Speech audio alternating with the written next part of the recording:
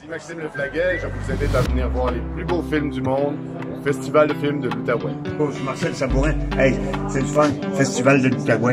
Tout le monde, faut venir au Festival de films. Ici Nabil Ayoub, en direct du Festival du film de l'Outaouais. C'est Robert Charlevoix, je suis au Festival du film de l'Outaouais.